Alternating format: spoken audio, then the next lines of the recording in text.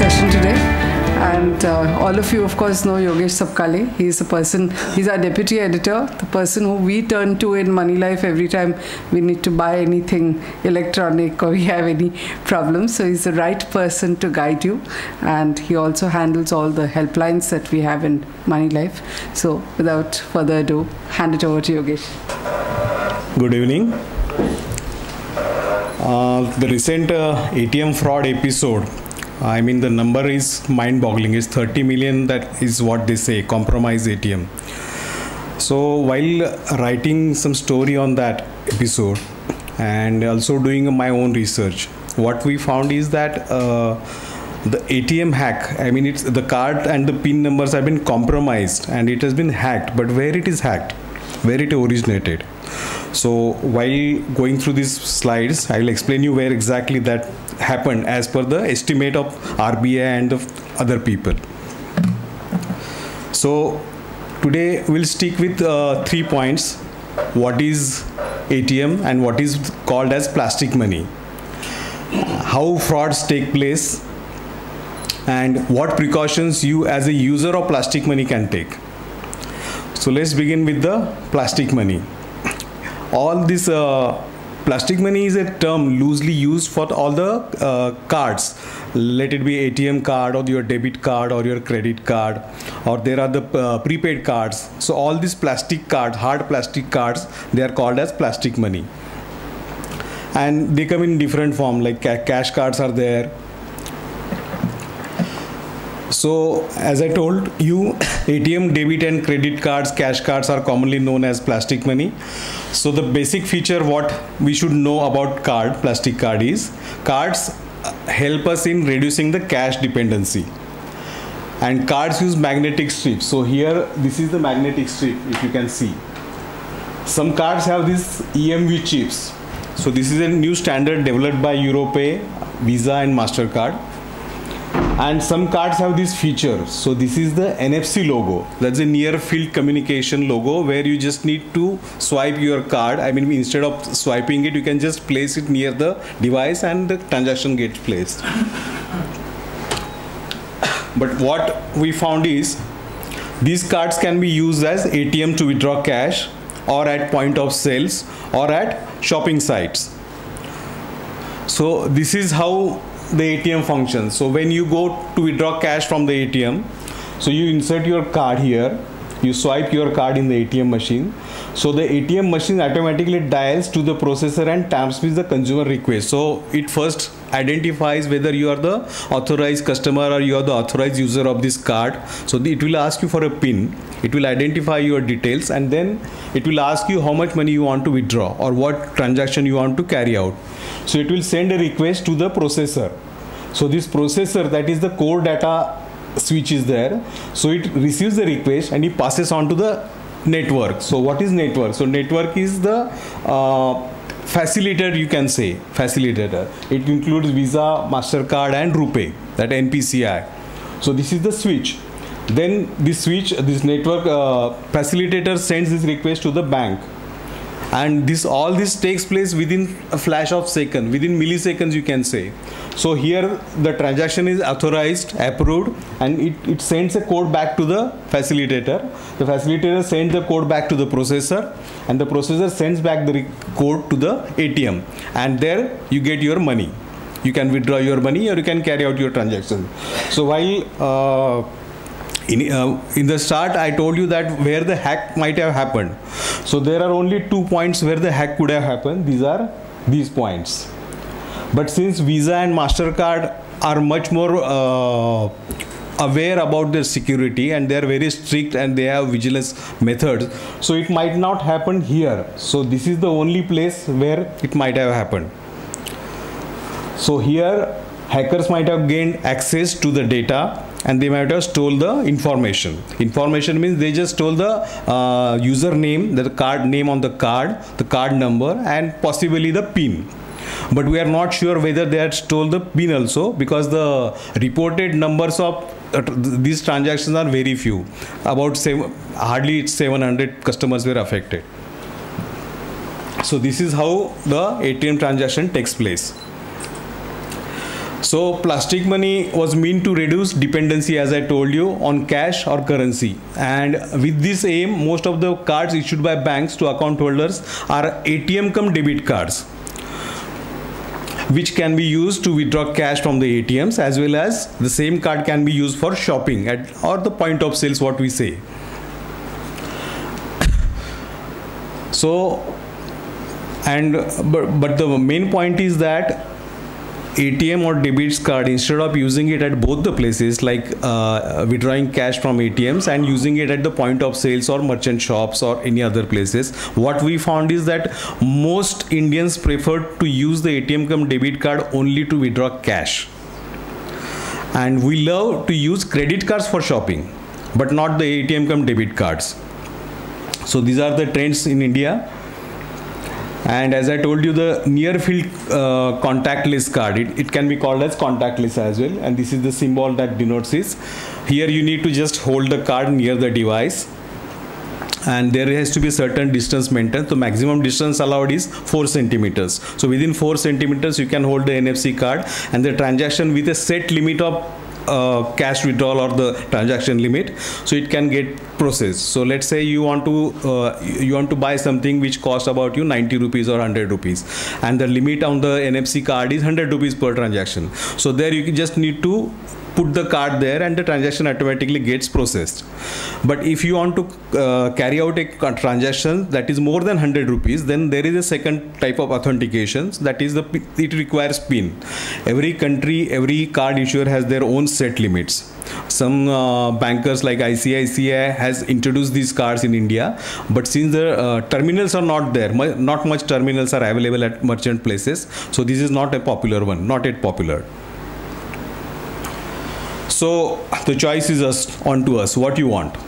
You want to use cash or plastic card? In this picture, I just counted approximate figure. This is a 4 lakh rupees approximately. So all this amount you can either carry all these currency bundles, notes, or you can just simply use a card. Again uh, i will say go for a plastic card. Why? Because instead of carrying the cash and taking the unnecessary risk plastic card is always safer. Plus you have a second factor authentication so you can use a pin. That means if somebody has stolen your bag with a currency cash you have lost it. You can't do anything about that. You may go to the police file fir and blah blah blah blah thing. But your cash is lost so even if somebody steals your, uh, somebody takes away your card, he may not be able to use it immediately unless and until he, he have your pin also. Or he also uh, steal your mobile also so that he can get the one-time password. So this is much more safer considered with the cash. Now, uh, how these frauds of ATM card frauds take place or ATM or uh, plastic card uh, frauds take place. So this is just a small clip and the figure mentioned in this clip is just for the US. It is 16 billion dollars. This is the amount that has been lost in the frauds, eh, plastic card frauds. And according to a Nilson report uh, for uh, 2015 through 2020, card fraud worldwide is expected to total. Can you guess? Any guess? Billion? It's 183.29 billion dollars. And by in in 2020 itself, I mean the figure I told you about 2015 is uh, just 16 billion dollars. By 2020, global card fraud will exceed 35.54 billion dollars. This is a chart from Nilson report and according to that report, losses from frauds on all credit, debit, and prepayment cards reached 21.84 million dollars in 2015. That is uh, at 20.6 percent. At the same time, the volume, the total volume of card transactions has fallen. So it is now just about 7%. And as I told you, it is expected to reach 31.67 billion dollars by 2020 but still the good news is that the fraud remains lower than the peak years in 1970s where it was too high compared with the total volume and the frauds. It was too high in 1970s so how fraud takes place? How uh, the gangster the criminals misuse your credit information or your plastic card let us see a short clip from abcnews.com that explains how the fraud happens. The person who is explaining this is Robert Siciliano, an online safety expert at Intel. Robert Siciliano is a cybercrime expert. Unfortunately, when it comes to stealing credit card information, it's as easy as swiping a card in any skimming device. They can use the, those 16 digits over the phone to place a phone order. They can use them online to plug it into a website or they can actually clone a card. They can burn the information onto a blank ATM or credit card and use that out in the wild. Still not afraid? Listen to this reformed credit card thief. It's very easy and it's a lot of money. So anything I wanted, I would just go out and get for free using these cards. Dan DeFilippi is poacher turned gamekeeper. Somebody uh, turned my partner in and he turned me in. Then DeFilippi started working for the Secret Service, teaching agents how to stop skimmers, helping themselves to the data on our magnetic strips. When the magnetic stripe was created, uh, identity theft was an issue, and so the data was never properly encrypted.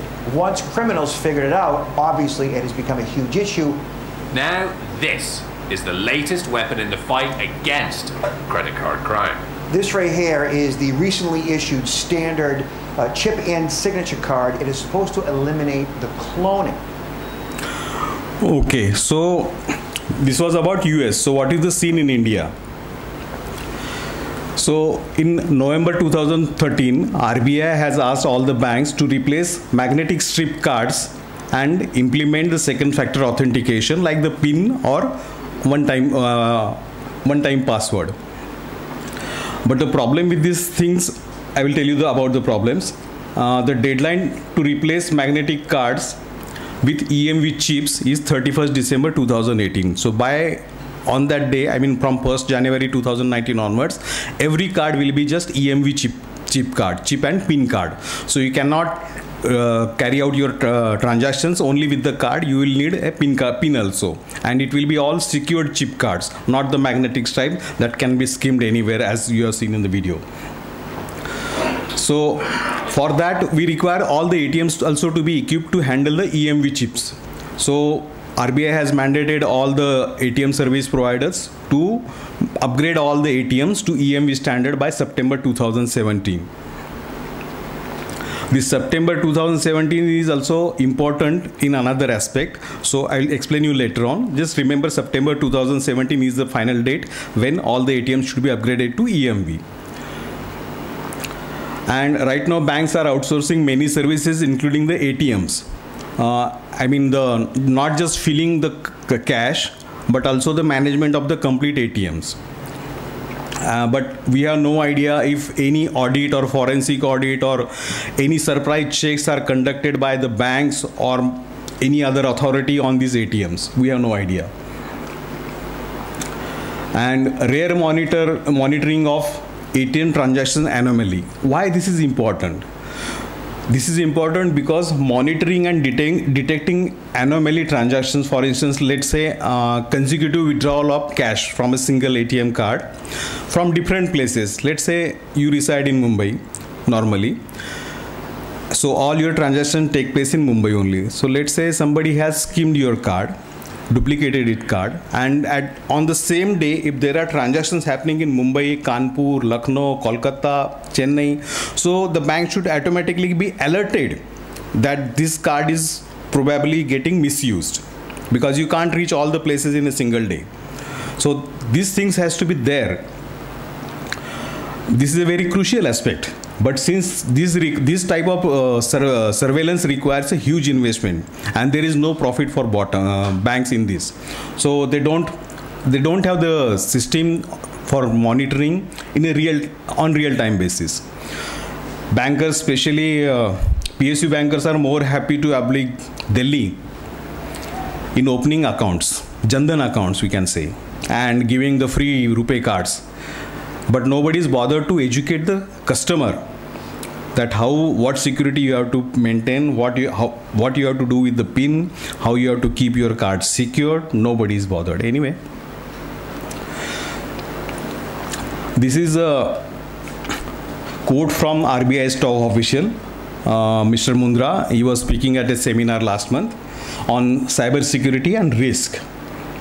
What he says in the name of technology adoption, while banks are proactive in procuring various latest gadgets, what we observe, I mean, this is what RBI observes across institutions, is that the configuration of such devices are seldom given sufficient importance and left to the vendors. At the same time, he says vulnerabilities exist in hardware, middleware, software, operating systems, applications, network devices, and communication devices. This is a very serious type of allegation, you can say, by an RBI's top official. Mr. Mundra also said that banks are allowing customer information to be stored at the vendor's place, vendor's facility without adequate safeguards. This is happening day in and day out while bla- uh, banks are claiming that we don't have manpower i mean the skilled manpower we don't get engineers we don't get security experts how the vendors are able to get this can anybody guess vendors have all the manpower they want but the banks can't get any security expert or IT experts. For what reason, I don't know. And this also raises a big question whether the banks know what they get from their outsourced vendors, including the quality of delivery. And Mr. Mundra has raised a very valid question in this. So now move on to how you can, I mean, in this in these circumstances, how you can protect your money, especially if you are using a plastic card. First thing is, this is the keyboard of your ATM machine. Change pin of your plastic cards. I hope everybody in this change the pin regularly, right? Have you changed your pin? Yes. No. Never? You are using the same pin which the bank had given to you? Yes. Sir, please change it. Right now after and you, you need to change your pin. At the same time you need to change it regularly. But again it is not quite easy. Most of us are reluctant to change pin. The reason is we can't remember pins for everything.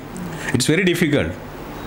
But there are certain ways you can do that so let us see how you can change pin for the atms and credit cards and debit cards.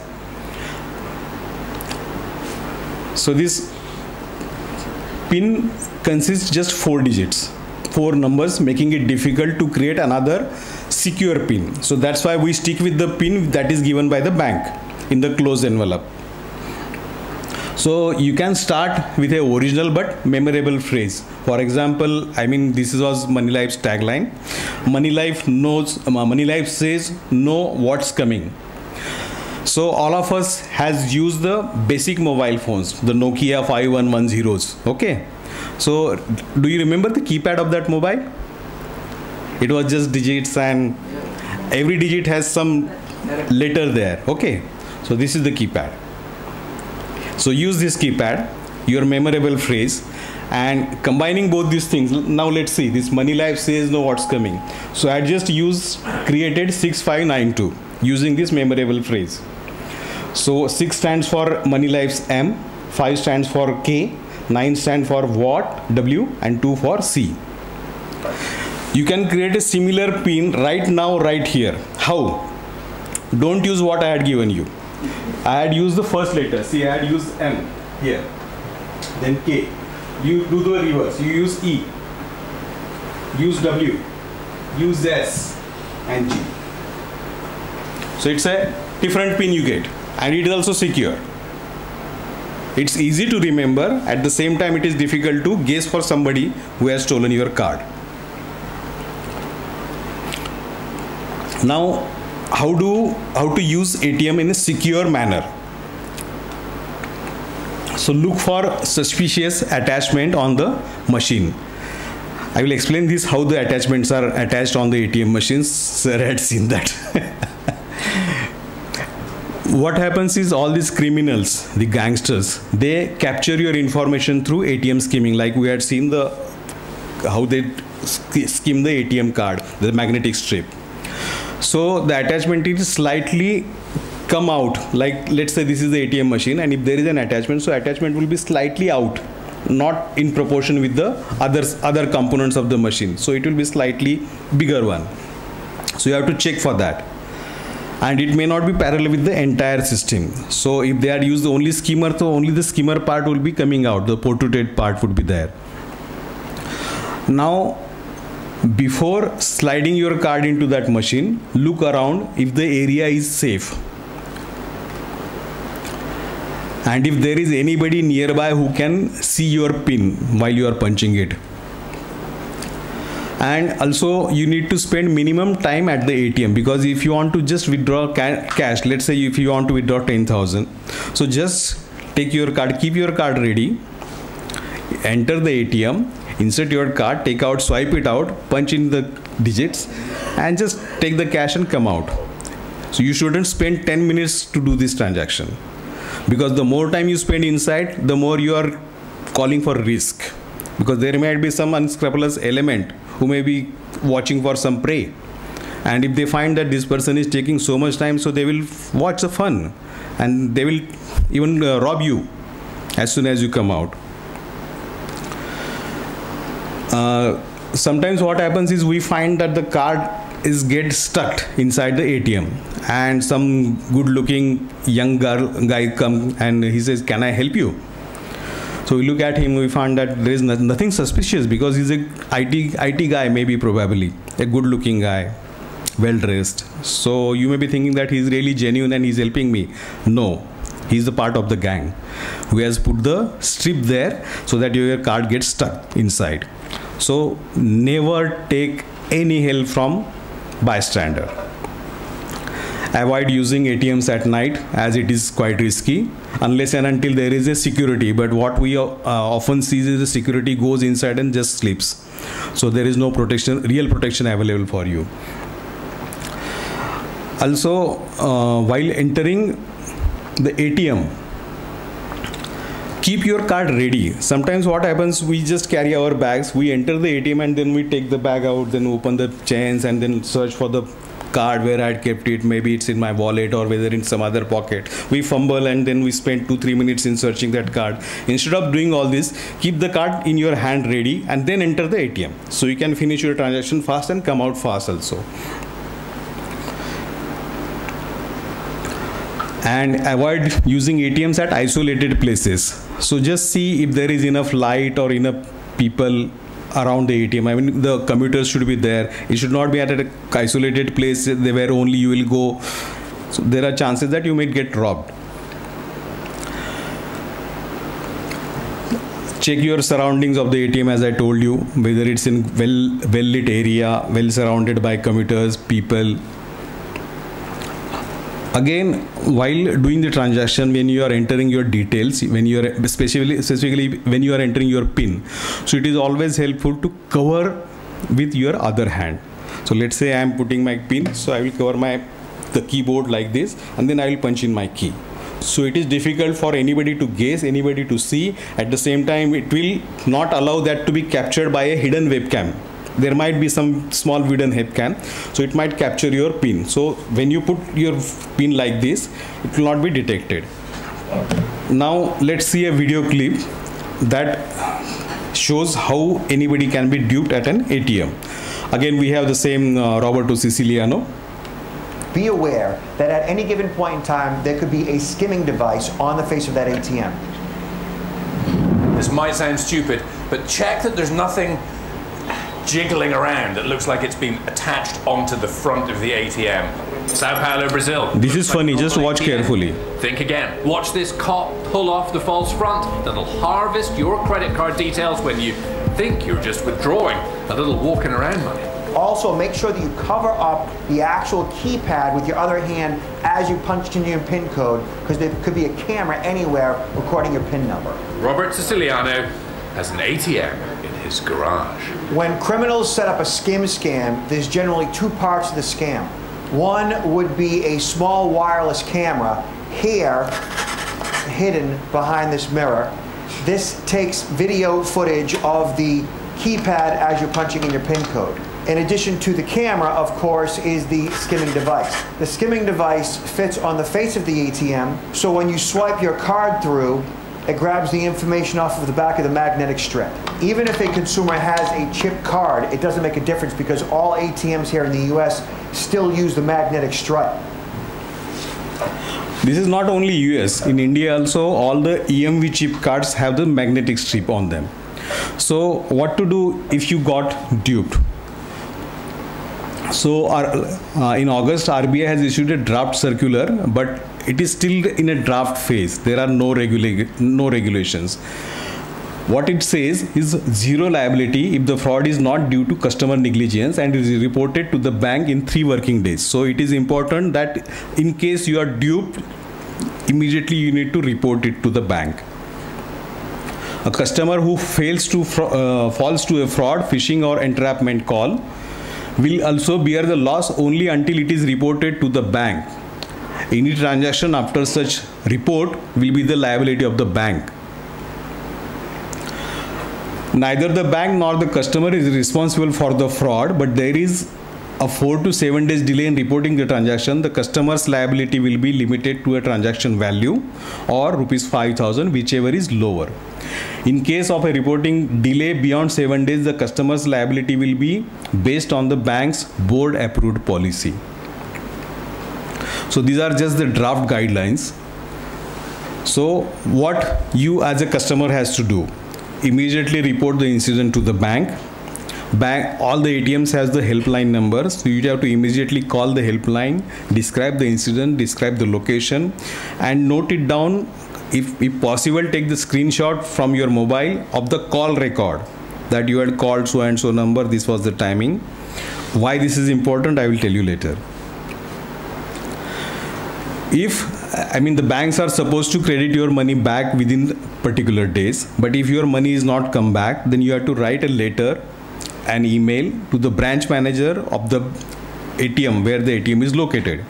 They have their jurisdiction if you are using other bank atm then you will have to write to the other bank as well as your own branch branch manager saying this is the incident that took place and this is the call i had made this is the complaint i had filed and request them to provide uh, uh, preserve the video footage because most of the times i mean most of the atms are having cctv cameras so they do record the video footage i mean who is the person. But it gets erased after certain days let's say 10 days or 15 days. So you have to immediately inform the bank this is the incident that took place on so and so time approximate. So you preserve the video footage. Please preserve the video footage. So that will help you identify the thief and if you don't get any response then you have to send them reminders after 15 days. And if there is still no response then you have to take the complaint to the banking ombudsman. Now what more you can do?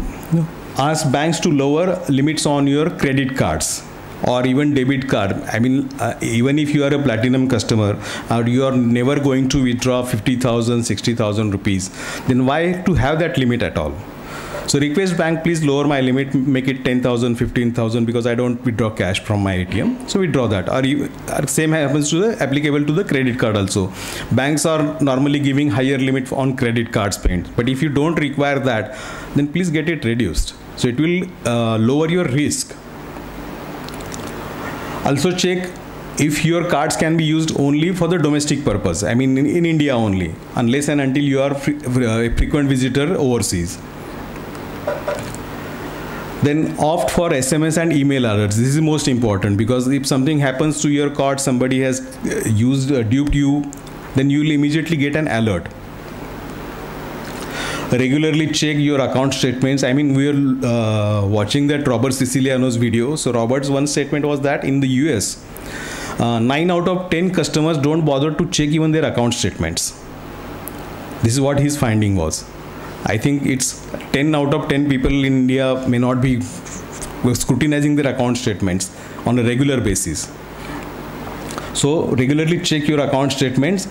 And if you find anything that is not the transaction is not done by you then immediately report it to the bank. Always be alert it will save you and your money. Now talking about that emv chips. So emv chips are a new norm. And uh, it is very difficult to copy or scheme that EMV chip. Uh, some people try to copy that. I mean, theoretically, it is possible, but it is possible only in a closed environment, not out in the open. I mean, somebody just can't schemer and get the data copied. It's not possible. So, in these circumstances, what the criminals will do?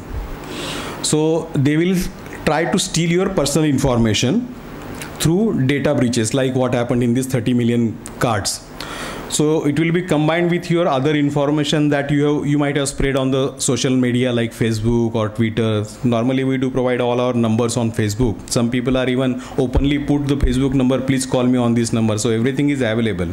The criminals just have to look at the information.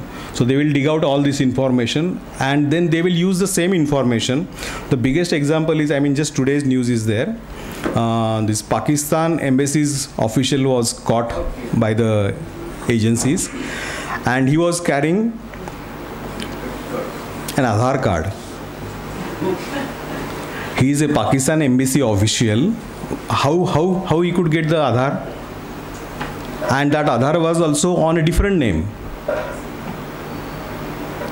So if somebody wants to create a duplicate of your records, he just need to get your Aadhaar details just enough.